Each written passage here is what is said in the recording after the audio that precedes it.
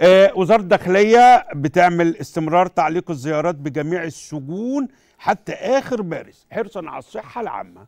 وسلامة النزلاء. كده إذا ما فيش أي زيارات لوزارة الداخلية للسجون يعني. برنامج المصري فندي مع الإعلامي محمد علي خير الخميس في الساعة الثامنة والنصف مساء الجمعة والسبت الساعة الثامنة مساء. على القاهرة والناس. أهلا بكم في العاصمة.